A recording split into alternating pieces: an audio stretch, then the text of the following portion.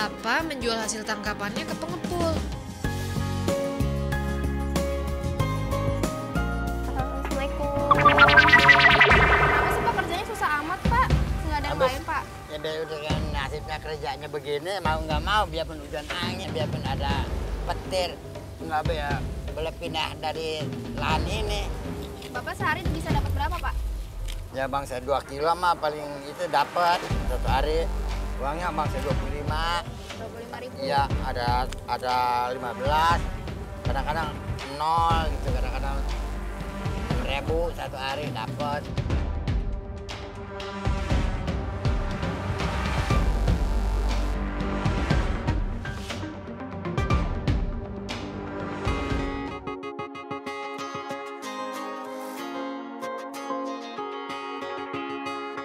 Bapak menjual hasil tangkapannya ke pengepul.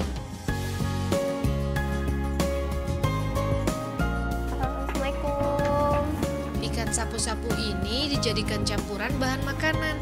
Per kilo harganya Rp11.000. Tapi pendapatan Bapak hari ini ternyata hanya 9 ons. Nggak nyampe sekilo. Bersihin ikan tuh cuma dapat 10 ribu. Buat beli apa ya Pak ya? buat ongkos doangan Kebayang kan cuma buat ongkos doang. Mungkin rezekinya segini ya Pak. uangnya banyak gitu Iya, makasih ya Pak ya. Makasih ya Pak.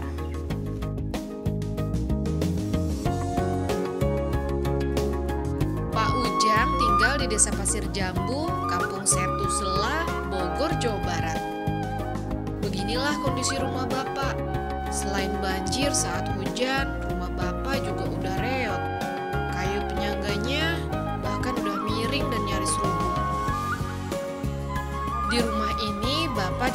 istrinya Buna Ani dan keempat anaknya. Anak Pak Ujang sebenarnya ada delapan orang, tapi yang empat sudah berumah tangga dan hidup terpisah.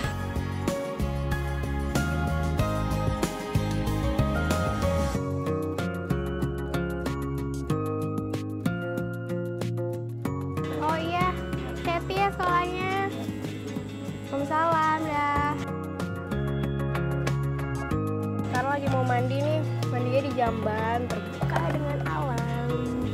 Selain itu, airnya. Jadi airnya itu air, air empang. Jadi kalau misalnya mandi di sini, ambil airnya mandi, langsung kebuang ke bawah, dipakai lagi, dipakai lagi terus. Jadi airnya tuh itu itu aja. Dan kalau buang air juga di sini. Hmm, jijik sebenarnya pakai air ini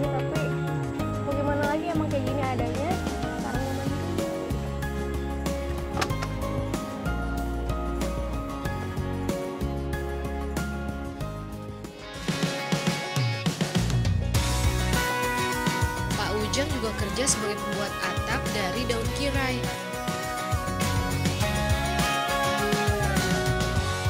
Hari ini aku mau ikut Bapak cari daun kirai.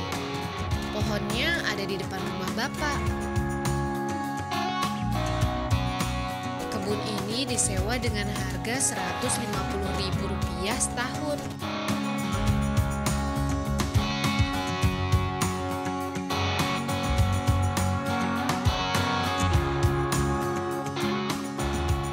Kirai di kebun ini memang tumbuh di rawa-rawa.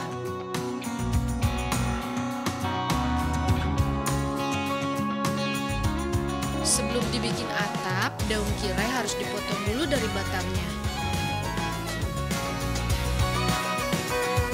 Sekarang konsentrasi untuk bikin atap. Biar kerjaan cepat selesai dan Bapak dapat uang. Rp1.500 untuk satu lembar atap.